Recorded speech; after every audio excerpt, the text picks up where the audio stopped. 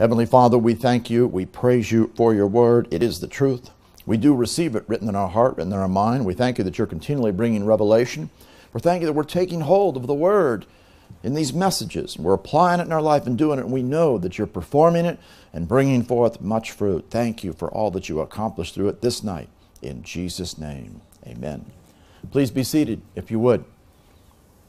We've been sharing many messages that are very important as we've been stating. We talked about our call. We talked about being chosen. We talked about being faithful. We talked about proving ourselves to be accepted. We've talked about how there'll be those that'll be rejected and those that'll be approved before God. We talked about those that'll be crowned. We're talking about spiritual growth now, about how we grow up spiritually through the Word of God, and we come out of just being brand new born babes in Christ, and we grow up by getting experience in the Word of righteousness, so we're no longer infants. And we grow up, and so we do what the Word says. We grow up to the place of, of beginning to conquer our enemies and see them be put underfoot to come to being a spiritual young men and women before God. And we're going to go on into spiritual man and womanhood to be the full stature of the man in Christ. And we're talking today, we began talking about perfection. God is going to take us to perfection. We talked about how to be perfect in the Old Testament this morning. We saw that the words there for perfection refer to being without blemish, being upright, being without spot, being undefiled. Because of that, that shows us that that's the exact same type of people without blemish, without spot, without wrinkle, holy. They're going to be presented unto the Lord at the rapture, which is the catching up of the church when he presents them to himself, the glorious church. Who's that tell you is going to make it in the rapture in the glorious church? The ones that have gone on to perfection. Those are the ones that are going to be there. So, and God wants us to go on into perfection. Well, tonight we're going to continue on talking about in the New Testament. We see beginning here in Hebrews chapter 6, verse 1. Therefore, leaving the principles, or this is the beginning principles of the doctrine. The doctrine really is the word logos, which is word, of the word of Christ that comes unto us. It says, Let us go on unto perfection. You and I are to go on unto perfection in our life. And when he talks about going on, this is something that is going to be an ongoing process because this is a present tense verb. It is conditional upon you doing what is necessary to go on into perfection. It will not happen automatically. This is why the subjunctive mood is there, a conditional statement depending upon you meeting the conditions. And you can't do it yourself. God's the one who does it. This is why it's in the passive voice. Therefore, it is conditional. If we meet the conditions and we do the ongoing work necessary, God will accomplish this work and we will go on into perfection, maturity, into spiritual manhood and womanhood to be, the, be a part of the full stature of Christ that He's going to raise up in these last days. And He says, not laying again the foundation of these things repentance from dead works and a faith towards God, and the doctrine of baptisms and laying on of hands, resurrection of the dead, and of eternal judgment. These are all foundational principles. We are going to go on unto perfection, moral and spiritual perfection in our life. That's what He is going to accomplish in your life. Now, as we do this, we go forth, we're going to walk in the ways of the Word of God. We're going to conquer and triumph over all our enemies. We looked at many principles from the Old Testament that are very important for us to see. We begin over here in Luke chapter 1, and we see in verse 5 it says, There was in the days of Herod, the king of Judea, a certain priest named Zacharias, of the course of Abia. His wife was the daughters of Aaron, her name was Elizabeth. And they were both righteous before God, walking in all the commandments and ordinances of the Lord, blameless. Who's going to be with the Lord? Who's going to be presented? It's going to be the blameless ones, the ones who are free from fault, the ones that have no reason to be censured in any way, as it says. So, walking in all the commandments, you and I now are to walk in the New Testament commandments, and we are to walk as those who are righteous, which are the ones who are doing the word of righteousness. We see this is before, remember, the New Testament came into being. Well, after the New Testament came into being, Paul, who was considered the one who was the, one of the superior ones in the law, we see in Philippians chapter 3, speaking about Paul, verse 5, he was circumcised the eighth day of the stock of Israel, the tribe of Benjamin, a Hebrew of the Hebrews. As touching the law, a Pharisee, he was, you know, the top of the class in the law. Concerning zeal, he was persecuting the church as they were against the church. Touching the righteousness which is in the law, he was blameless. He followed it to a T, just like the other guys did that he talked about. But it didn't produce anything because that won't produce it. It's only through faith in Jesus Christ and through the New Testament commandments and the work of God in our life to bring us to that place. Well, we see that the Old Testament could never produce it. The reason being is because it had no means to do it, because first we must become a new creation in Christ. And you and I are going to go on into perfection. The covenant that we have now is a covenant that will bring us into perfection in the Lord. In Hebrews chapter 7, verse 11, it says this If therefore perfection were by the Levitical priesthood, could it bring us to that place? That was the Old Testament. It couldn't do it. For under it the people received the law. If it could, what further need was there that another priest should rise after the order of Melchizedek and not be called after the order of Aaron? That was the Old Testament order. But it could not produce it. So somebody, a new one, had to come in and that was Jesus, the high priest after the order of Melchizedek. The reason being, because, of course, there was no change on the inside, and the Old Testament law was made for man after the flesh with all of its fleshly outward ordinances. We see in Hebrews 7:19 it says for the law made nothing perfect but the bringing in of a better hope did by the which we draw nigh unto God. The Old Testament law was made for man after the flesh. The New Testament law is made for man after the Spirit, with all of its spiritual applications, and it produces those spiritual results in our life to bring us into perfection in the Lord. We see over in Hebrews chapter 9, in verse 9. Here it speaks of the first tabernacle that was standing in verse 8.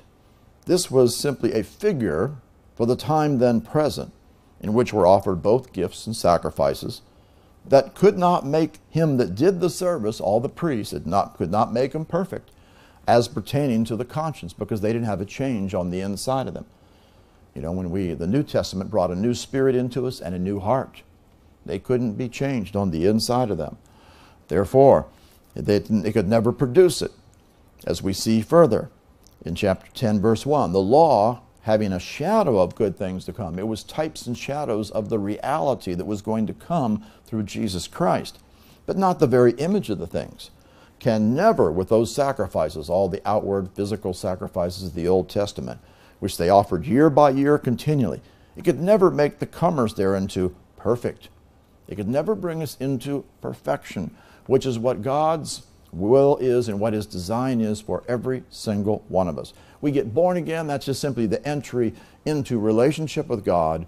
And then we begin to grow up in the things of the Word of God and we begin to bring forth fruit. We go through the cleansing process and we bring forth more fruit. We come to the abiding place of bringing forth much fruit, being true disciples of the Lord. And we overcome all sin because sin has no dominion over us. We have authority and we cast out all the demons and we drive them out of every area so we get free and we come to liberty and victory in our life.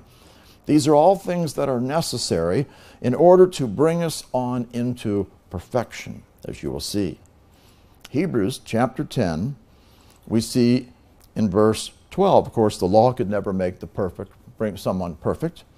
So, how could this happen? How could we go on into perfection? It's only through Jesus Christ. Hebrews chapter 10, verse 12. But this man, talking about Jesus, when he had offered one sacrifice, and this one means only one. This is the word mia, which means only one. Remember, they offered sacrifice year after year continually. Jesus only had to offer one sacrifice because he took all the sins upon himself. He offered one, only one sacrifice for sins forever, sat down on the right hand of God. He'd accomplished this great work for henceforth expecting till his enemies be made his footstool. For by one offering, only one, again the word mia, only one offering, he hath perfected forever them that are sanctified. Now, this is important for us to look at for a moment. This is the perfection. It says, by this offering he has perfected forever. It looks like they're all, we're already perfected, them that are sanctified, past tense. Looks like it's already been accomplished work. But that's not what it's saying here. First of all, that he hath perfected forever is an accomplished work because of what Jesus has done. The reason why is because this is a perfect tense verb. The perfect tense means action completed in the past with present effects at the time of speaking. So he's saying he has completed in the past this perfecting work with results at the present time forever, otherwise, it would carry on. So that says Jesus has accomplished that in the past, which has ongoing, forever, forever effects. But then when we come to the next place, where it says that them that are sanctified, sounds like it's in a past tense, doesn't it? Well, this is where there's a problem. When we look at this word, it is not a past tense verb, which has led, led a lot of people astray, thinking that they're already perfectly sanctified.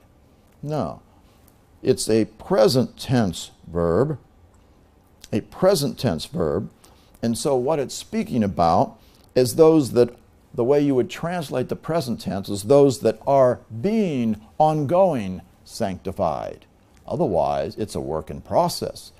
See, what Jesus' sacrifice did it, he made it so that this perfection would, has already been accomplished through his work, but in order for it to be accomplished in us, that work has to be done.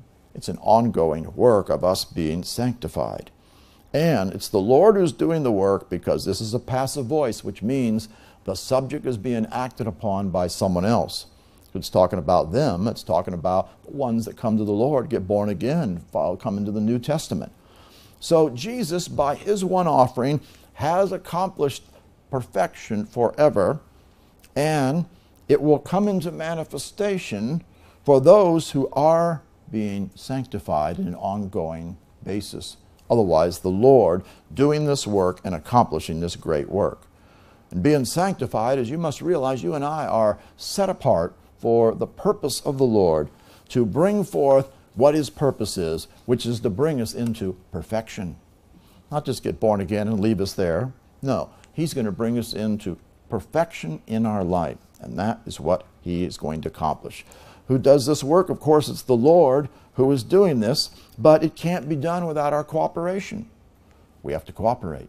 He's not going to do it just without us doing nothing. We get in His Word, we do what He says in order to see this be accomplished. Now, it's interesting, over in Matthew chapter 13, verse 55, in speaking about Jesus, it says, Is not this the carpenter's son? And this word is a form of this word for perfection, this one who brings the perfecting of something. Is not this the carpenter's son? Well, they're talking about Jesus. Well, in one sense, he's talking about Joseph. He's the carpenter, and his son would be talking about Jesus. Well, who is the father of Jesus? The real father is not Joseph, it is Jesus. This means the Heavenly Father in heaven is the Father of him. So, Jesus, the Father is the real carpenter who's accomplishing this work in our life through Jesus Christ.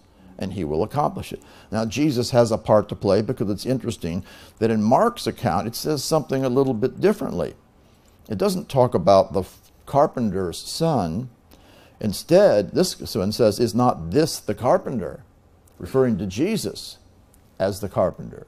So when you look at those two together, it speaks of the Father as the carpenter, but also Jesus is the carpenter. And what's they doing? They're doing this perfecting work in order to accomplish this work of perfection to bring us into what God purposes for us. Well, how's this going to get done? It's going to get done through the working of Jesus Christ, through the Word of God in your life. In Matthew chapter 5, we see in verse 44. This is, by the way, in verse 43, where Jesus is speaking to them in this chapter, telling them, in essence, of the change from the Old Testament to the New Testament. He says in verse 43, You've heard that it hath been said, Thou shalt love thy neighbor and hate thine enemy. That's from the Old Testament. That's the way it was. But now he's telling them the New Testament law, how it's changed. But I say unto you, love your enemies, bless them that curse you, do good to them that hate you, pray for them which despitefully use you and persecute you. These are all commanding statements. We are commanded to love our enemies. So that means you don't do things to people based on how they treat you. That's the way they did it in the Old Testament. They loved their neighbor and hate their enemy. The enemy was bad, so I'm not going to love him. It's based on their performance. It's not that way in the New Testament now. You do things unconditionally, and you give people what they have need of, not what they deserve. You love your enemies.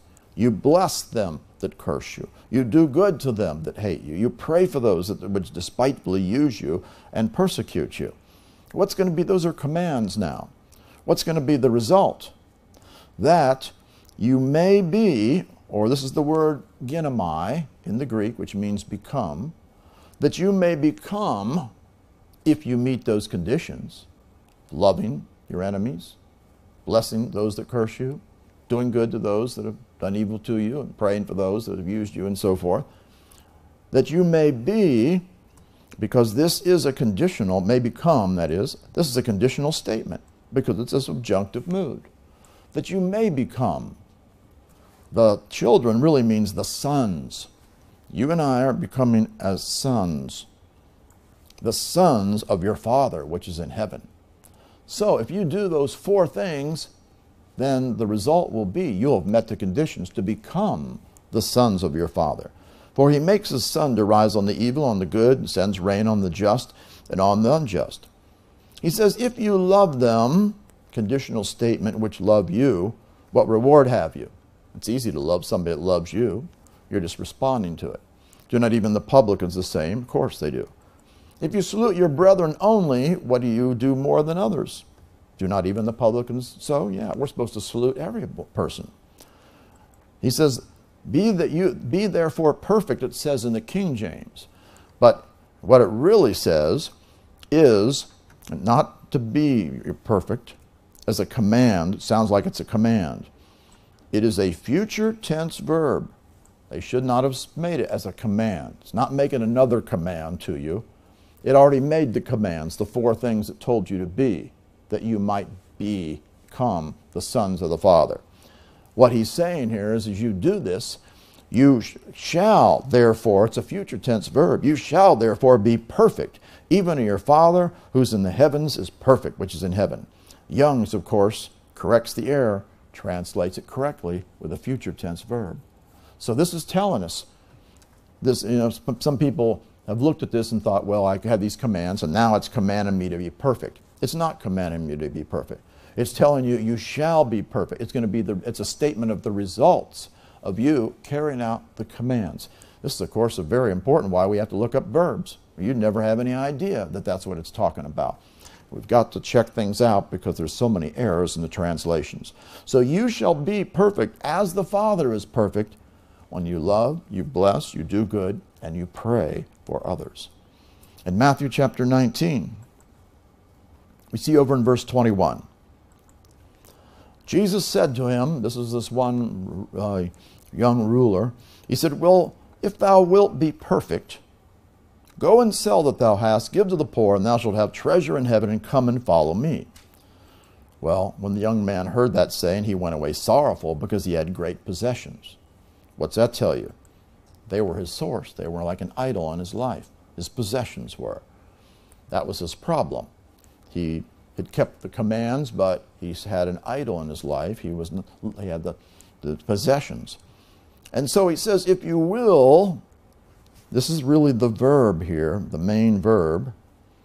If you are willing, present tense, to be, this is a infinitive in the Greek, to be, infinitive, if you are willing continually to be perfect, Otherwise, he's saying to him, you know, You, you, you haven't quite met, it, met this condition here yet. If you are really willing to be perfect, go and sell that you have. You've got to get rid of this, which is like an idol in your life that you look to, your source. It's not that we have to get rid of our money or possessions. It depends on whether the possessions have you. If they have you, you better turn loose of it because it's become an idol in your life. And he said, Give to the poor, and you'll have treasure in heaven, and come. This is a command, and follow me. Not only tell, told him to get rid of the possessions, but he also said, If, if you're willing to be perfect, you're going to have to come and follow me. Otherwise, you, he, he didn't want to let go of his possessions. He certainly wouldn't want to leave them and go and follow Jesus. So, you and I must get rid of anything that becomes we're holding on to other than following the way of the Lord. He had to get rid of that in order to be able to come and follow him. So you can't have any idols or anything hindering you from following Jesus if you are going to become perfect. We see in Luke chapter 1, verse 45.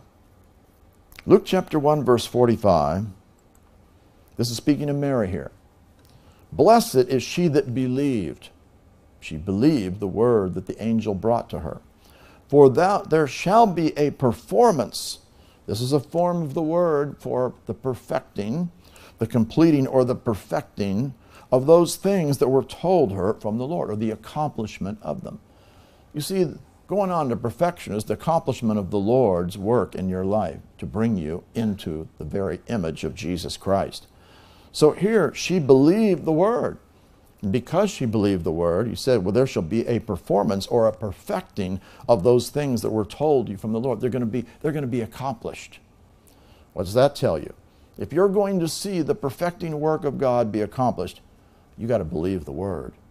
You got to believe the word and do what he says. And God will perform that word just like it was to be performed in her life, the things that were spoken in like manner, the things that God has said that He will perform for you will be performed in your life, and you will come to perfection. So you must believe the Word.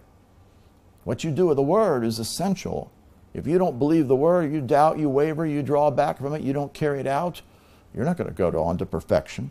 This word is the word of the covenant that we're expected to perform, and the accomplishment of it is to come. Remember, we're not to see one promise being left us of entering into his rest. And coming into his rest is seeing the work done, which is coming into spiritual perfection in our life.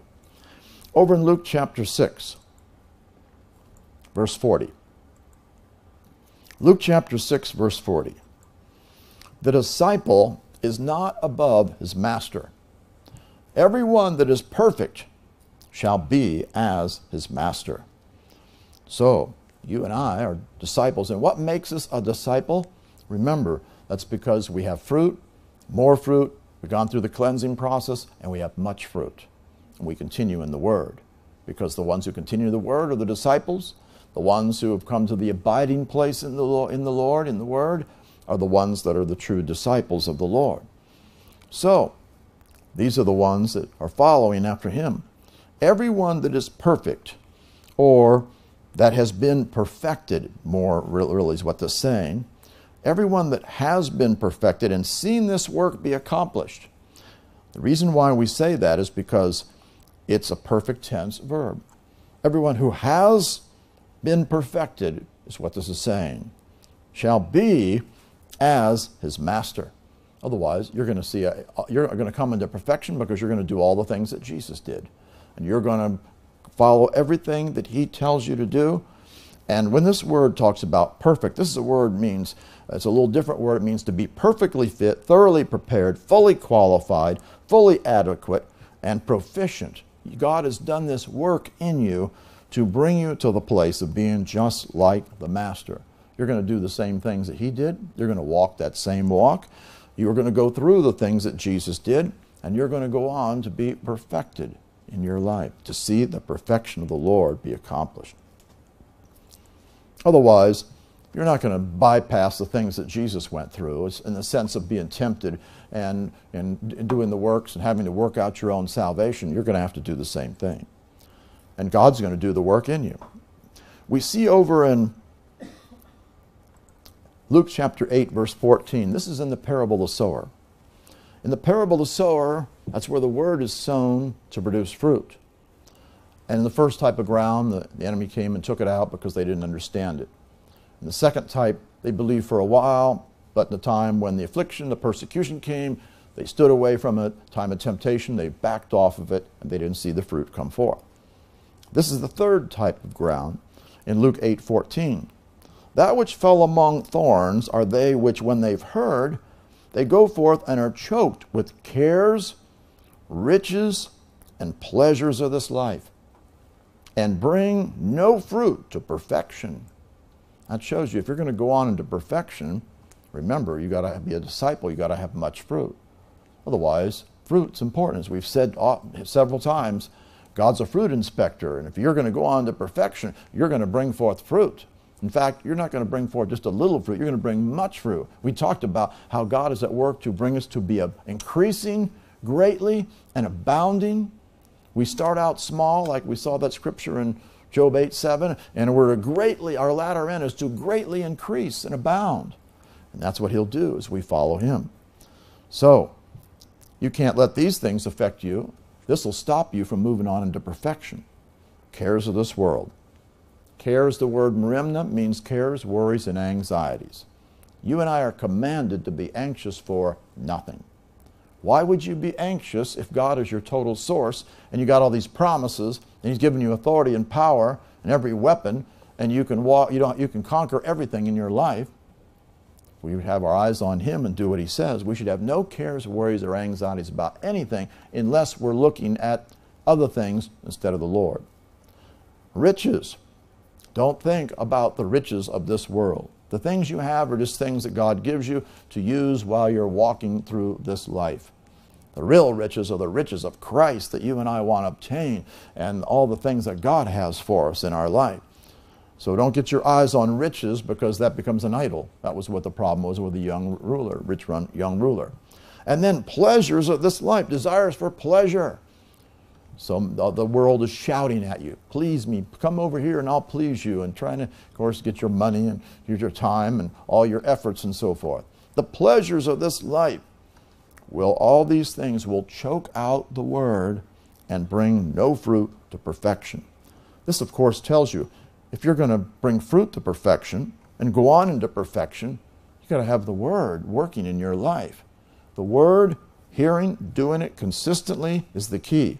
So, do not let cares of this world, anxieties of anything, deceitfulness of riches, lusts or pleasures of life enter in. If so, they will hinder you from going on to perfection. Fruit is absolutely necessary for you to go on to perfection. Remember, fruit, more fruit, and much fruit. In John chapter 4, we see over in verse 34, Jesus said, He said to him, My meat or my food is to do the will of Him that sent me and to finish, complete, perfect His work. Bring to completion, accomplishment, which is all about what this perfection is. Perfection is the accomplishment of the work of God in your life to bring everything that He purposes. So, he said, I'm to do the will of him that sent me. And I am to finish, accomplish, complete, see the perfecting of his work. See all this be accomplished. So, what's going to be the way that you're going to see that work finished? You're going to do the will of him that sent you. Doing the will of the Father doing the will of the Word of God, the uh, Word of God, which is the will of God, is essential. Remember, it says those many will say all these things and what they did, but he says only those that are doing the will of the Father are going to enter in. It's only those ones. So, doing the will of the Father because you're going to see the work be accomplished. You're going to see the work be finished. You're going to see the work of complete, completed in you to bring forth the perfecting will of God. So, again, doing the will of God and carrying out everything and finishing his doing his works as well to see this work be accomplished. So this is why putting the word first place in your life is essential. That's why you hear us say all the time, be a hearer and a doer of the word. People that will, will not do that, they'll never see the perfecting work of God come forth in their life. Never. It'll never happen. John chapter 17, verse 4. He says, I have glorified thee on the earth. I've finished, I completed the work which you gave me to do. What are we to do? We're to glorify Him on this earth. We're to glorify Him in everything that we do. And we are to see the finish, finishing of the work that He's given us to do. All the things that He's commanded us to do, we need to carry it out. He's called you to be a witness. He's called you to preach the gospel. He's called you to cast out the demons, heal the sick. He's called you to be light. He's called you all so many things that you're supposed to go forth and do. He called you to pray. All the things that He's called us to do. And we talked about the call of God on our life and how it's so important to fulfill that. All the things that He's given you to do, you need to carry it out. So as you bring glory unto Him in doing all the things that He's commanded you to do, you're going to go on into see that finished work done and be perfected in the Lord.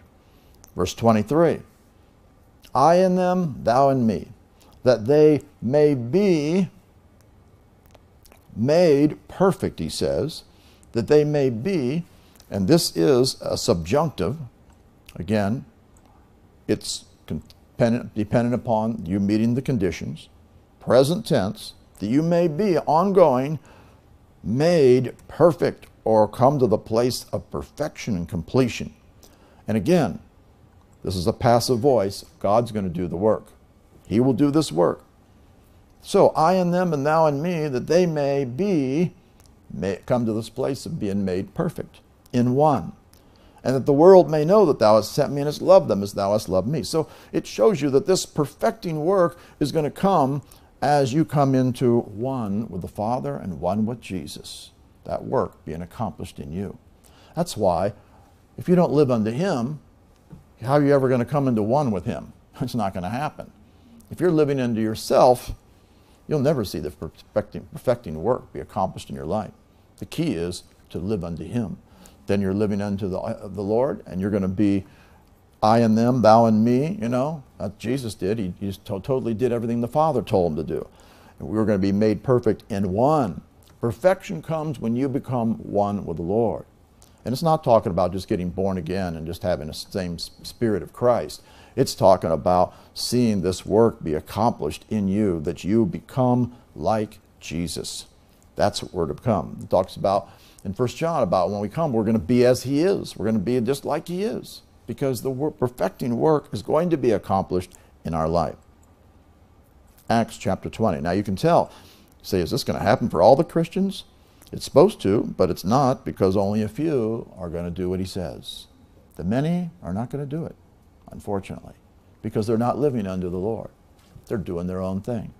Only the few will be in this company that are going to be perfected. Acts 20, verse 24. None of these things move me, neither count on my, my life, and here it's talking about his, his psuche, soul realm life, dear unto myself. Otherwise, I'm not following my agenda, and it doesn't matter what's coming at me, I'm not going to be moved by it that I might finish my course with joy. Otherwise, my eyes are on the Lord. I got to finish the work. I got to complete the work. I got to see this perfecting, completing accomplishment of the work of the Lord done in my life, in my course with joy, in the ministry which God's given, which I received of the Lord Jesus to testify of the gospel, the grace of God. In other words, I got to finish this call on my life. I got to carry it out. The call of God, you need to complete it. Remember, many are called, but only few are chosen. The ones that are chosen are the ones that have seen the call of God be fulfilled in their life. We're going to go on to perfection. Nothing moves us. We're not looking at our soul realm life and wanting to hold on to anything, thinking, in fact, when he says it's dear unto myself, it's interesting. The word dear actually means as of a great price. No. Life is all in Jesus not all this soul realm stuff, but what I want to do, what I feel like doing, my thoughts and, and so forth. No. We live unto Him, and that's the key. I guarantee you, you'll never come into perfection if you don't live unto the Lord. We do not live unto ourselves. We only live unto Him. Another thing that's important is Romans chapter 12. We see Romans chapter 12 in verse 2. Well, verse 1 we could comment on. It says, I beseech you, therefore, brethren, by the mercies of God, you present your bodies a living sacrifice, holy, acceptable unto God, which is your reasonable service. Well, you know your body, your flesh, has sin dwelling in it. So, how can I present it wholly acceptable to God? I don't let sin operate through it, even though it's dwelling in it. So, what do I do? I crucify the flesh daily. I put to death the deeds of the body. I do not let the sin that dwells in the flesh rise up and take control. If you walk in the Spirit, you will not fulfill the lust of the flesh. But if you walk after the lust of the flesh, then your body will not be presented holy. Instead, you'd be unholy. See, our body is to be presented holy, which is acceptable unto God. It's our reasonable service. And then he comes on to verse 2 and he says, Be not conformed to this world, but be transformed by the renewing of your mind. Transformed, changed into another form. The word metamorpho, from which we get our word metamorphosis, change in species from caterpillar to a butterfly. That means you're going to be changed from a carnal minded person to a spiritual minded, from earthly minded to heavenly minded, from walking in the flesh. No, you're going to walk in the spirit. That's where your mind is going to be after the things of the spirit. And you, by the absolute change, renovation and complete change of your mind, your mind has to be gutted from all the ways that you have thought. And if you are allowing things to come into your mind uh, that are programming you continually the ways of the world, you're going nowhere. You're to be transformed by the complete change and renovation of your mind. You will never get to perfection if you continue to feed yourself the things of the world, the things of the flesh, all these negative things, and so forth. No, you need to shut that off and turn off all the things of the world that are worthless and get your mind renewed to the Word. You need the Word in you. And remember, in the New Testament, He takes the Word, He writes it in your heart, He writes it in your mind. It's being inscribed in your mind by the Holy Spirit. And he goes on and says that you may prove what is that good, acceptable, which means well pleasing, and perfect or perfecting will of God. So, that tells you that the will of God is going to bring a perfection in your life, a perfecting. These are not different types of the will of God. Some people have read this and say, well, there's the good, there's the acceptable, and there's the perfect. That's not so. These are all adjectives in the Greek. It's not nouns describing different types of the will of God. They're adjectives describing the one will of God. You're either in the will of God or you're not. What's the will of God? The Word. The will of God is good. The will of God is well pleasing and acceptable. And the will of God will accomplish the perfecting work in your life. How's it going to happen? Because you get your mind renewed to the truth. And you're going to think on what God wants. It's going to affect your will, your choices, and everything that you do. You're not going to, you're going to think as a heavenly minded. You're going to have get the mind of Christ. So you think like him. And you can't don't don't think by any means that some people have taught out there, well, I'm just going to believe that I have the mind of Christ. Believing you have the mind of Christ will not produce the mind of Christ. That's fantasy. That's all unreality, false religious teaching. A lot of people say, well, I'm just believing I have the mind of Christ. Or if they think they got it because they're born again. No, you don't have the mind of Christ until your mind's renewed. And the measure it's been renewed is the measure that you have seen, seen the mind of Christ come into you. So we got to get complete renovation of our mind if we're going to come to this perfect, see the perfecting work of the will of God happen and bring us into perfection. Therefore, you got to get your mind renewed. You don't get your mind renewed, are you ever going to come to perfection? No. Are you going to have the mind of Christ so you will think like God wants? No. Are you going to have a spiritual mind? Your heavenly mind? No. You're going to be filled with all this worldly stuff and, and fleshly stuff, and it's going to take you nowhere. 1 Corinthians chapter 2. Going on to perfection. God wants to take us all into perfection. 1 Corinthians chapter 2, verse 6. Howbeit, we speak wisdom among them that are perfect. We are speaking wisdom. This is a, a ongoing um, present tense verb. He's speaking wisdom among them that are perfect. So, what that tells us is the fact that wisdom is going to produce this perfection in our life because wisdom is the result of having knowledge, when you act on the knowledge, you get spiritual understanding. And when you walk in that, it produces wisdom. Wisdom knows what to do in every situation. You need wisdom. It says in the Proverbs, get wisdom. It's the principal thing. Wisdom is all tied into everything. Solomon had great wisdom, and what did it do? It produced everything for him. It produces prosperity. It produces all these blessings. When you have wisdom, you know what to do, and it will produce all the results in your life. So he's speaking wisdom among those who are perfect. They're going to be able to receive it and will bring forth the working of the Lord in your life to produce this. The wisdom of the world, the princes of the world that come to naught, they, no, that doesn't do it at all. It's the wisdom of God that produces this in your life. Also, so we got to get wisdom by hearing and doing the word. 1 Corinthians 1:10 Now I beseech you brethren by the name of our Lord Jesus Christ that you all speak the same thing. Why would we all speak the same thing? Because we all think the same way. Why would we all be thinking the same way? Because we all have the mind of Christ. If we're not thinking the same way, somebody might be right, somebody might be wrong, or maybe every, both are wrong. But we're obviously not in one accord. Why? Because we're not thinking like Jesus wants us to think. We're to be speaking the same thing. There's be no divisions among you. That was a major problem in Corinth. They had all kind of divisions and problems. What do we see in the body of Christ today? Division all over the place. So that's why there's only going to be a few, unfortunately, that are going to come to this place of speaking the same thing, no divisions among them, that will really have the mind of the Lord. And that you be perfectly joined together, perfectly joined together in the same mind and in the same judgment. That's what's going to happen. Because if you don't think like Jesus, you're not going to have the mind of Christ, you're not going to be like Him, and you're not going to go on to perfection. Well, if we're all having the same mind and we're thinking like Jesus, that means our mind's been renewed. So they're to be perfectly or to be perfectly joined together in the same mind and the same judgment. Judgment refers to the, the, your view or your way of thinking, your mind, your purpose, your intentions, your way of thinking, your perception, your, your way of dealing with situations. Because we're going to do it according to the Word of God and handle things that will bring forth good results.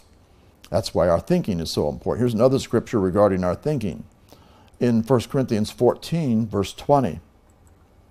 Brethren, be not children, this is a young child in understanding. He wants us to grow up in our understanding, We're to increase in it. Howbeit in malice or having ill will, should we be doing that? No. He says, be, at, be it like children. This is nepiazo, is the Greek word, being like an infant. Well, do infants do anything? No, they haven't grown up enough to do anything. So he's saying, as far as doing any evil things, you're like an infant, you don't do them. Essentially, it's a funny way to say it in a sense, but it's saying don't do it. But in understanding now, and this is talking about the faculty of being able to perceive and to judge things correctly, to be able to see and to, know what's, what's the right thing, correct way of thinking. He says, be men, but that's not what it says in the Greek. It says, be perfect. This is the word for being perfect. Growing up to perfection. And that's why Young's translates it correctly. In fact, the word be here is not be, it's become. It's the word ginomai. He's telling us to become perfect because that's what we're to develop in. And this is a command, command given to us. God would never command us something that we couldn't see result per, per, coming to pass in our life. And that's a present tense. So he's commanding us to become on an ongoing basis those that are perfect because it's going to develop in us. And this is because we have the perception, the correct way of thinking, understanding, so that we'll walk in the ways of the Lord. And so your mind, you'll have a spiritual mind, the mind of Christ. You'll become perfect in your way of thinking. That's what it's talking about. Another thing that's important for us to come to the place of perfection is remember who's going to be presented to the Lord? The ones that are holy, right? Well, 2 Corinthians 7 1 says, Having therefore these promises, dearly beloved, let us cleanse ourselves from all filthiness of the flesh and spirit, perfecting holiness in the fear of God.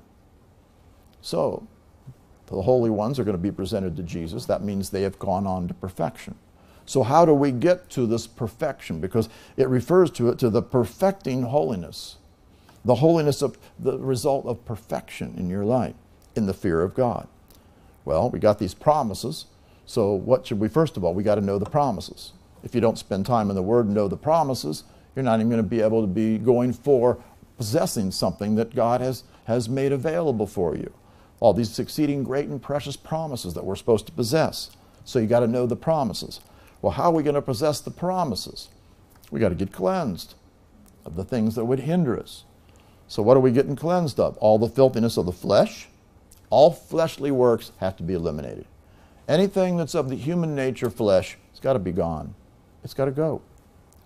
And spirit. What's the filthiness of the spirit? Spirit is filthiness of spirit's not talking about our spirit because our spirit is right. We got a new, brand new spirit on the inside of us, the spirit of Christ. And we receive the Holy Spirit who dwells in our spirit. Nothing evil or filthy in our spirit. What's the filthiness of the spirit? It's the unclean, evil spirits that are in us. They're called unclean spirits some 20 times in the Gospels. So they're filthy, they're unclean, filthy spirits. So, what is going to bring you to the place of perfection in holiness? To be holy, perfection. got to deal with all the fleshly things, and you also got to cast out all the demons because the filthiness of spirit, the evil spirits. What does that tell you? Only those that have dealt with the filthiness of the flesh and cast out the demons are ever going to come to the place of perfection, of holiness, and they'll have the fear of God. Oh boy, that makes a whole lot of people in trouble because what's the body of Christ teach out there? We don't have any demons in us. They're all gone when we're born again, you know. 90 plus percent of the body of Christ out there doesn't believe they have any demons in them. Will they ever get to perfection? Nope, because everybody's got them in them because we've all sinned. We all have them from inheritance, our own sins and victimization. Therefore, only those who deal with the flesh filthiness and deal with the evil spirits filthiness, casting them all out, that's another requirement for you to go on into perfection, to be holy before the Lord, and you're going to have the fear of the Lord before you. Over in 2 Corinthians chapter 12, we see something else. Here in verse 7. This is Paul. Paul got all this great revelation from the Father. And he says in verse 7 Lest I should be exalted above measure, God was trying to exalt him as he was going and preaching the gospel every place. Through the abundance of the revelations, remember, he got all these revelations of all the things that happened, the cross of the throne, all the spiritual revelation, wrote all, you know, all these letters. He got this revelation. Lest I should be exalted. Now, some people, even some translations, have translated it that Paul was trying to exalt himself. Some translations have talked about him uh, being, being prideful and being conceited. You look through the translations and you'll see how they even translate it that way, which is totally incorrect. Because when it talks about being exalted here, lest I should be exalted, was he trying to exalt himself? No. How do you know? Because it's a passive voice. He was being exalted by somebody else. Well, who exalts us in due time? The Lord does, remember? If you be humbled under the mighty hand of the Lord, he will exalt you in due time. Well, God was now wanting to exalt him in the eyes of all the people with all the revelation he had, so he was going to go and preach the revelation. And what was the devil trying to do? Stop him every city he went to. City after city, they were trying to hinder him when he first started out. Lest I should be exalted by the Lord above measure through the abundance of the revelations, or really, uh, this is talking about be, because of the, all these revelations that he got that he wants to bring forth, there was given to me a thorn in the flesh. What was the thorn in the flesh? The messenger, which is the word angelos, which means an angel of Satan to buffet me. So an evil spirit was working, sent at him to buffet him. And the buffet means to strike at him, blow after blow after blow continually. And this was ongoing. Now, one thing you have to know did this have to happen? No. Was it God's will for it to happen? No. Could it have been prevented? Yes. How do you know? Because when it says the messenger of Satan to buffet me, notice it's a subjunctive mood verb. which means he could only buffet him if conditions were met. Which meant if he didn't know how to deal with the devil, the devil could beat him up and buffet him left and right. And Paul did not know how to deal with the devil yet at this point. He was growing in his uh, development of his life, it's just like everybody else in his spiritual walk. So when it talks about this, this buffeting, the messenger of Satan, Satan was sent if the conditions were such that he could do it to continually strike at him blow after blow after blow after blow. And what was the purpose? Lest I should be exalted above measure. Same thing, it's passive voice, meaning that so to stop him from seeing God, exalt him. And of course, this is also subjunctive mood. It was conditional upon, you know, that he wasn't automatic that he'd be exalted because the devil could stop him, which is what was happening. First missionary journey, he's getting beat up left and right. So he's, he, was, he was being hindered by the devil from being exalted with all the abundance of revelations. Yet the attack from the enemy was a conditional thing. If he knew what to do about it, he could have stopped it. So, having said that, we come to verse 8. What did he do about it? For this thing I besought the Lord thrice that it might depart from me. He asked him three times to get rid of this thing. This means he was calling, just simply calling and speaking to the Lord for the Lord to get rid of it. Is that the way we get rid of the things of the devil? No. Because God has given us authority and He told us to speak to the devil, cast him out, resist him, bind him, speak to the mountain to be removed. We have the authority. Paul didn't know all these things yet. This is one of the earlier letters, the ones to the Corinthians. He was developing in these things. So, he seeks the Lord to depart three times and nothing's happening. Then we come, and here's the Lord's response. Many people have not understood this. He said unto me, My grace, now what's the grace of God? God's favor towards you. Is the favor of God just for you to get beat up by the devil and have to be under the devil's, you know, continual pummeling you, blow after blow after blow? That's not the favor of God. The favor of God is what brings your deliverance and your freedom and your blessing and all the promises of God to pass, not being pummeled by the enemy. My favor, it says, is sufficient. This word sufficient is a word archeo in the Greek. And what it says means, it doesn't mean to put up with this stuff.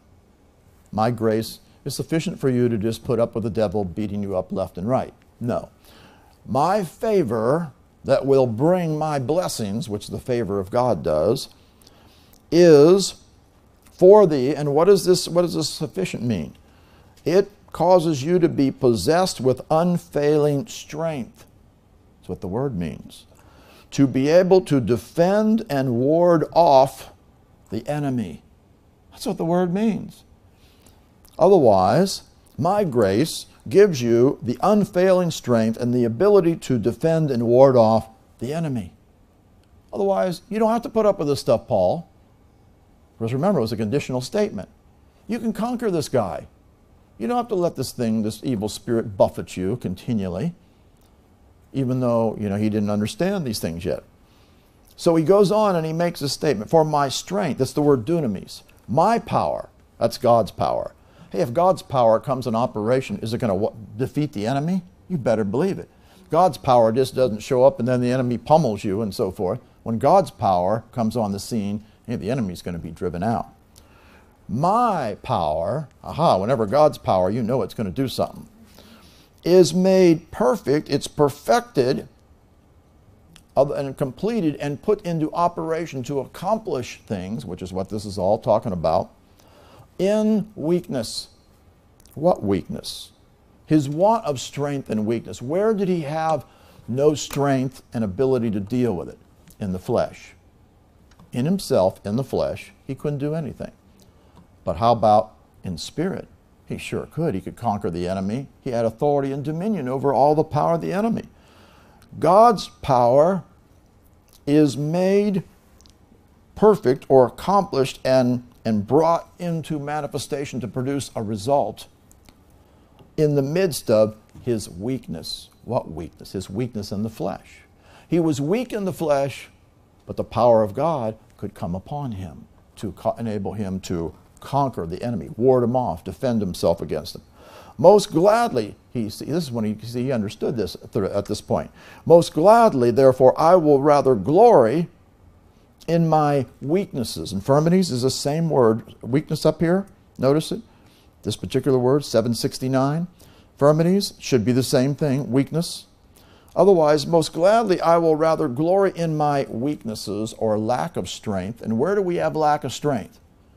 In the Spirit? No, our spirit is the Spirit of Christ, and the Holy Spirit dwells in us. Hey, we're victorious there.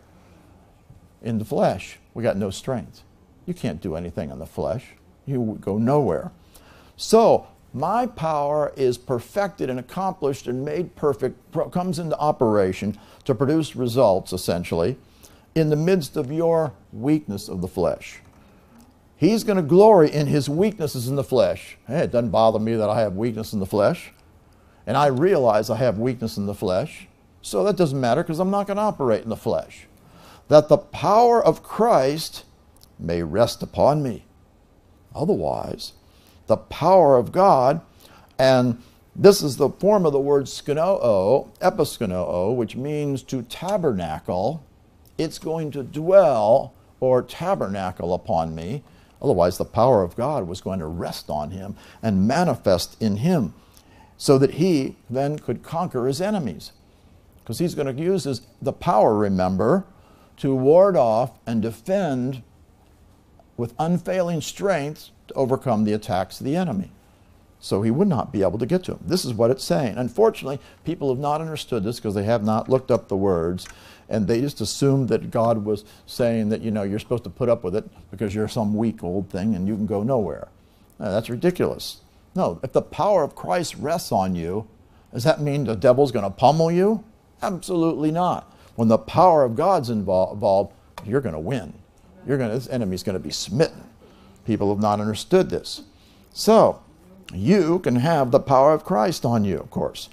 Therefore, he says, I take pleasure in infirmities and in reproaches and necessities, persecution, distresses for Christ's sake. It doesn't matter what's coming at me. When I am weak, here, again, when I have this weakness in the flesh, yeah, I understand that. then I am powerful, dunatos. I'm powerful. Where am I powerful? In spirit. Where am I weak? In flesh. Depends on how you deal with it. How did Paul decide, try to deal with things at the first? He tried to deal with it in the flesh. He tried to do everything possible in the flesh to deal with the things. And, and asking God, of course, to get rid of it, but he didn't understand about operating in the Spirit to conquer the enemies with the power of God, the unfailing strength, and the ability to defend and ward off the enemy. That's exactly what he did. So he realized, even though I got this weakness in the flesh, I got the strength of Jesus Christ. I got the power of God that will rest on me through in the spirit and I can conquer all these enemies and overcome them in my life. Therefore, you got to know that how, how is he going to come to the place of getting free of the enemy? Through the power of God. You got to get full of the power of God. You're going to get full of the power of God because you put on the whole armor of God. Through the word in you, it produces the power resident within you. You do nothing in the flesh. If you look to the flesh to try to deal with your problems, you'll be like him. You'll get pummeled left and right, buffeted over and over and over by the enemy. But if you operate according to the power of Christ, you get the power of God resident in you, and you manifest, you release the manifest power of God with mighty force by praying with all manner of prayer and using your authority. You'll smite the enemy and see him be put underfoot and eliminated every single time. Therefore, Another way to go into perfection is you can't let the devil beat you up. How can you be in perfection if the devil's pummeling you left and right? No, it's because you're going to pummel him. You're going to put him underfoot. You're going to get full of the power of God. Remember, Stephen was full of the power of God, full of faith, full of the Holy Ghost, full of wisdom. We've already seen several of those things. And what did he do? He went forth and he got victory over the enemies. He did the mighty, wonderful works of the Lord. So, we took time to go through that because there's been such absolute false teaching about Paul's thorn out there. It's astounding. 2 Corinthians chapter 13, verse 9. We are glad, rejoicing, when we are weak, because we got this weakness of flesh. It doesn't affect us at all. It Doesn't affect me that I can't do anything to conquer the enemy in the flesh. And you are strong, otherwise, you guys have power. This also we wish, even your perfection.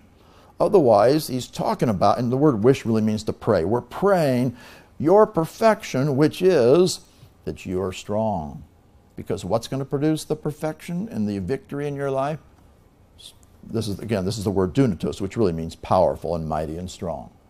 Otherwise, you're going to go on to perfection in your life. You're going to get mighty. You're going to be full of power. You're going to be, have strength. And you're going to conquer everything. Nothing's going to overcome you. You are going to be strong in the Lord and you are going to walk in victory in your life. So here, you know, we, we'd be praying for another to get full of the power of God, which is what produces their perfection. He says, you know, you're, this is what we pray, which is for your perfection, to bring it to pass in your life. Then we come down to verse 13. He says, Finally, brethren, farewell. Be perfect. This is a command. And when he makes this commanding statement, this is something that they can't do themselves. How do you know? Because it's a passive voice. If it was him producing it, it would be an active voice, the subject doing it. It's a command, imperative, and it's present tense. So he's commanding him, You are to be perfect. Who's going to do it? God's going to do it. He's going to bring you into perfection. It's to be continually in operation, and it's a command. God's command is to be that way. That's why, because you have Him working in you to produce this, if you allow Him to work. then He commands them to be of good comfort, be of one mind, live in peace, and the God of love and peace shall be with you, as they met the conditions. So, we're going to be perfected continually by God as we obey His command of doing the things that He says, which, of course, get full of the power of God, operate according to it, in line with it. Galatians chapter 5, here's another scripture, verse 16. This I say then, walk in the Spirit, and you shall not fulfill, this is this word teleo, which is a form of this word perfection. You will not fulfill or see come to perfection or completion or its works be accomplished the lust of the flesh. Do we have the lust of the flesh at all times? Yes, we got the flesh, flesh and it has all its lusts. Do we have to let it manifest in any way? No. If you walk in the Spirit, you will not see the completion, the accomplishment, the result, the, the perfecting of the lust of the flesh operate in your life. So, what's going to be another way we're going to come into perfection? We've got to walk in the Spirit at all times. You can't be walking in the flesh. You'll never come to perfection. We are going to walk in the Spirit. And how do you walk in the Spirit? According to what is, a, what is, the, what is Spirit? The Word of God is what is Spirit, and it is life. You're going to walk by your Spirit, the Spirit of Christ, in line with the Word of God, and you're going to do what the Word says, walking in the Spirit, and you're not even going to let the flesh have opportunity to work at all times, at, uh, at any time whatsoever. Another thing we see in Galatians chapter 6, verse 1.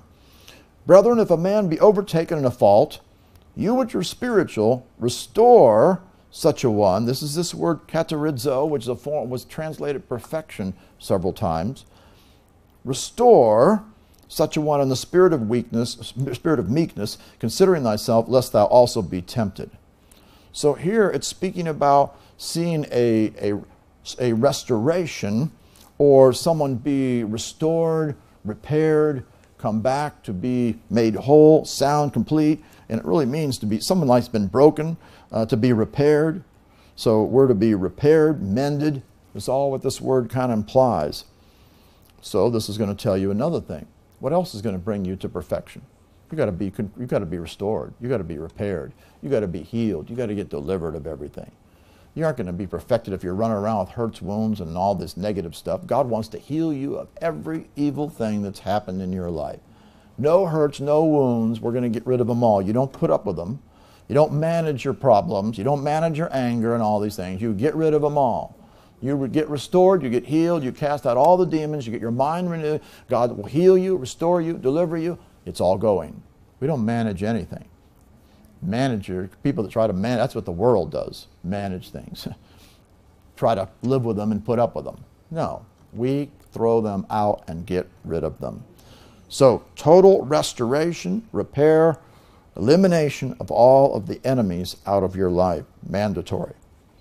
Ephesians chapter 4, verse 12, verse 11. Well, verse 11 talks about the apostles, prophets, evangelists, pastors, teachers. And what are they doing? For the perfecting of the saints. Not just to give them a bunch of messages that's not going to do anything for them. Not to just give them one scripture or two scriptures and then go ramble and talk about all the things that they're doing and talk about their vacation and their family and tell some jokes and all this ridiculous stuff. These guys need to retire or quit. They're kicked out, really, as far as God's concerned, because they're not doing what God says. Their purpose is the perfecting of the saints. How do you do that? Through the Word, giving them the Word. For the work of the ministry. How can they do the work of the ministry? They got to know the Word. They got to be walking in line with the Word. For the edifying of the body of Christ. What's going to edify and build up the body of Christ? The works of God being done through the Word, the Word springing forth freedom and liberty in our life. So, the perfecting of the saints is supposed to happen. This is going to happen through the fivefold ministry, the true ones, not the ones that are out there doing what they're doing. We're talking about the true apostles, prophets, evangelists, pastors, and teachers that are bringing forth the word and the ministry gift in their life is operating through them to accomplish this work through the word uh, and for the perfecting of the saints. And who's going to do the work of the ministry? The saints are for the edifying of the body of Christ. You and I are all to do the work of the ministry. It'll produce the edifying. Until we all come, does that mean it's going to automatically happen? Nope. How do we know? Because this is a subjunctive mood verb. Conditional. Till we may all come. It depends on whether you see this work be, a, perfecting work be accomplished in your life and you do the work of the ministry and you are involved in the edifying of the body of Christ. Otherwise, you're, you're carrying this out. Till we may or might all come in the unity of the faith and the knowledge, and this is also, you're going to operate in faith, obviously, to come to perfection, and you're also going to get the precise, correct knowledge of God to come to perfection. You can't be doing things contrary to the Word and think it's going to produce anything. It produces nothing. The precise, correct knowledge of the Son of God unto what? What is this all to produce? The perfect man. Who's that? That is the grown up man in Christ. The one that's come out of babyhood, come out of being an infant, come out of being a child, the young man who's conquered the enemy, comes to spiritual manhood. The perf- perfect man unto the measure of the stature of the fullness of Christ. The fullness, that means everything of Jesus is operating. The church is going to be a glorious church, and the, the, the power of God, the gifts of the Holy Spirit, the, the fullness of Jesus Christ is going to come forth. This isn't just nice little words that'll never happen. Everything that God says is going to happen. But who's going to be a part of it? Unfortunately, not everybody. Only the remnant to, to get this work done. Only the people who come to the, be the perfect man. The perfect man is going to be the ones that show forth the fullness of Christ. So, if you don't go on to perfection, you'll never be in the stature of the fullness of Christ. But if you do go on to perfection, you will come to the fullness of the stature of Christ. When we come to this, according, operating according to the knowledge of God and, and operating in faith, we henceforth be no more children. This is the word nepios. We're not going to be infants any longer, inexperienced in the Word of God. No, we're doers of the Word. We're developed in the Word. We're going to become strong and effective, efficient, actively work in the Word. And also, we're not going to be all confused about doctrine. Well, what's the truth over here? No, tossed to and fro, carried about with every wind of doctrine. Yeah, they're blow, the doctrines blow all, they've been blowing all over the place in the body of Christ for years. Why? Because the people have never studied the whole Word. They take a scripture here and make a, a doctrine out of it, and they think they've ignored other scriptures and so forth by the sleight of men and cunning craftiness whereby they lie in wait to deceive. Speaking the truth, bringing forth the teaching the truth in love, that we may grow up. Again, spiritual growth. We talked about this verse in the past. Is this automatically because you hear the truth? No. It's what you do with the truth. Just because you heard the truth spoken to you in love, well, great. Now you got something to work on, to do, but if you don't do it, it won't cause you to grow up. It's subjunctive mood. Means the growing up is because you put the word in operation, you apply it, you do what it says so that you will grow up into Him in all things, not just a few things. God, it wants you and I to grow up into Him in all things. What does that mean? You're going to become like Jesus. You're going to think like Him, you're going to walk like Him, you're going to do everything like Him. You're going to be just like Jesus on the inside of you, operating through you, because you're going to have the fruit. You're going to have the mind of Christ. You're going to have the wisdom of God. You're going to have the power of God. You're going to be operating in His ways, which is the head, even Christ. From whom the whole body, and here we are again, fitly joined together. We're not talking about ones all, we're all over the place.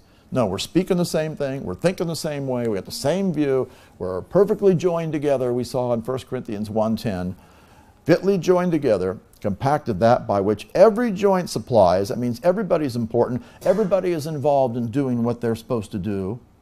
You know, part of your body, you know, this body well, part, part of the body is not doing anything. What's wrong with this part of the body? They're not doing what they should be doing. You know, it's not going to function right, will it? Every part of your body is to function Every part of the body of Christ is the function. Every one of you is important. Every joint supply, whatever you, God's called you to do, He wants you to supply the things that He has given you. The call of God, all the things. The power of God's to be in all of us. Every one of us should be operating power. Every one of us should be casting out demons. Every one of us should be healing the sick. Every one of us should be giving counsel and teaching others and encouraging others and operating as, as Jesus would operate. According to the effectual working, this is the word energy which means the active operation, effectual working in the measure of every part, makes increase. Remember, we talked about increase, how God wants us to increase greatly and abound, makes increase of the body under the edifying of itself in love. Meaning, we're all going to grow up. And as we grow up, we're going to be edifying and increasing every, everybody else. We're encouraging them. That's why if you're not speaking encouraging words in the word to people, there's something wrong. You don't be speaking negative and critical and tearing people down and fault finding and talking about all their negatives and all these things. That's a destructo. No. You're only going to speak good things. You're going to speak things that people need to hear the word, to be an encourager, to be one who's comforting and ministering to people and giving them the word. And even when you correct them, you always do it with a spirit of meekness to help them to get on the right path. Otherwise, never being destructive in any ways. Any of the strife, any of this judge, judgmental, negative, condescending attitudes, that person's never going to grow up and go to perfection. No, we're going to grow up in all these things. So the Word of God coming forth from the true fivefold ministry brings a perfecting of the saints so that they do the work of the ministry for the edifying of the body of Christ. And this is to happen till we all might come, if we do what he says, to the unity of the faith and the precise, correct knowledge of the Son of God, to the full man of the stature in Christ, to the perfect man, going on to perfection, for the fullness of Christ. And you and I are not going to be tossed with all these crazy doctrines. We're going to follow the doctrine of Christ, which is the Word of God. We're going to have it straight because we're going to study and rightly divide the Word of truth. We're going to bring the Word on everything. And the Holy Spirit will lead us and guide us into what? All truth. So don't think you can't know all truth. We can know it all. You just have to take the time and study and learn. And it's no shortcuts to it. It's scripture after scripture, point after point, line upon line, precept upon precept. That's the only way. It doesn't come any other way and we're going to speak the truth in love. We're going to grow up in all things because we're going to act upon it. And we're going to be a part of the perfect man in Christ, working every part, bringing the edifying, the increase of ourselves. And what's going to happen? We're going to get stronger and more powerful and more increasing, abounding fruit, all these things. We're going to grow up in all things. That's what God wants. Praise God, He's going to accomplish it. And this great work will be accomplished. We'll look at one more uh, passage just for a couple minutes before we're going to stop for tonight. Philippians 3, we were already over there before about Paul, about how saying how he, remember, he was touching the law blameless. And he realized in verse 7 what things were gained to me, those I counted loss for Christ, because it didn't produce anything. It didn't produce perfection. It didn't produce anything in my life. Yea, doubtless, I count all things but loss for the excellency of the knowledge of Christ Jesus. The knowledge of God, bring of Jesus Christ in the New Testament, spiritual reality is what I want. For whom I've suffered the loss of all things, because he threw all the things of the Old Testament out, which is what he was supposed to do, because it been that was all types and shadows pointing towards the reality. So we didn't need it anymore. Since the reality came, what are we following the types and shadows for? And all the physical stuff. And we got these people today that are going back into the Old Testament law and stuff. What are you doing in the Old Testament law with all of its types and shadows and these physical things? Let's come into the spiritual realities, the real deal. That's what he realized. I count them but dung that I may win Christ. Found him not having my own righteousness, which is the law, but that which is through the faith of Christ, the righteousness which is of God by faith, that I may know him. That's what Jesus brings us the place of knowing him. And the power of his resurrection, the power of God, the fellowship of his sufferings, being made conformable unto his death, because we die out to everything that's not of the Lord, and we have his life manifest in us. That by any means I might attain this means to arrive. That I might arrive unto the resurrection of the dead. He's saying, this is all necessary so I can get to the place of being a part of the resurrection of the dead. Which means if he doesn't get to this place, is he going to be a part of the resurrection of the dead? No, he's not going to get to that place. Not as though I'd already attained or lambano, taken hold of it. I haven't taken hold of this yet. So he's saying, hey, I haven't arrived and taken hold of all these things yet. Either we're already perfect. Paul says, I haven't got to perfection yet. Remember, he was a work in process like we all are. He's growing up in all these things. But what am I doing? I'm following after. And what are we doing following after? I'm not just going at a snail's pace whenever I feel like it, if, it's, if it works at my schedule. No. I am running after Dioko. I am running after, I am running swiftly after this hey, I'm going, I'm running the race, you know. I'm, I'm, it's all out effort. That if that I may apprehend really means, katalambano means lay hold of. I might lay hold on that for which I am laid hold of of Jesus Christ. He took hold of us. Now we are to take hold. We're bought with a price, remember, we belong to Him. So now we are to lay hold of all the things that He set before us which is all the promises to go on into spiritual perfection in our life.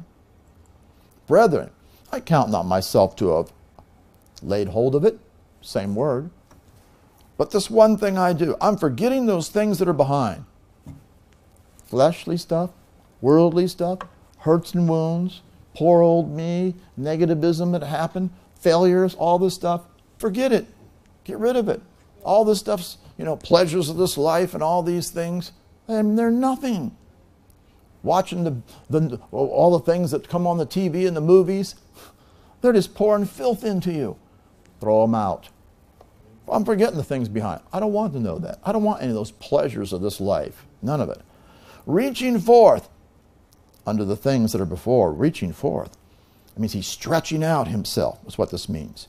Hey, I'm, I'm running, I'm stretching for this. I am going after the real deal the things that are before. And then he says, I press. This is the same word, dioko. I am running swiftly toward the goal. The word mark means the goal. I'm going for the goal. What is that? For the prize. What's the prize? It's the award to the victor. I am running for the goal of the award to the victor. So that means, how am I going to get to that place? I got to get the victory. It only comes to the victor, which means I have to get the victory over the flesh. I got to get the victory over the world. I got to get the victory over the devil. I got to get the victory over anything, over sin, anything that would pull me down if I'm going to get there. I got to go on to perfection. I'm going for the award for the victor of the high calling of God. What's the high calling of God? Go into perfection. That's the high calling of God. Be without blemish, be holy, be one who's unrebukable, unreprovable in the sight of the Lord. Yeah, I'm running after this thing. He said, Let us therefore, as many as to be perfect, be thus minded. That's why you know it's about being perfect. Am I going to be perfect? I got to be thus minded with this. If you're not minded this way, you got a problem. You got the wrong mindset.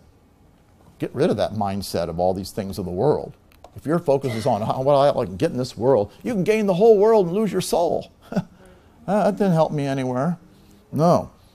As many as be perfect, be thus minded. That's where our mindset is. So what are we doing? We're going to go to per- on to perfection. We're going to run the race for the goal of the award to the victor because we're going to get the victory. And the way you get your victory is through Jesus Christ and all the things that He's given you in the Word, through your faith and all the weapons and everything, the power of God, all the things that He's given to us. We can conquer all enemies and get the victory. And what is the, what is the ultimately where we're headed? For perfection.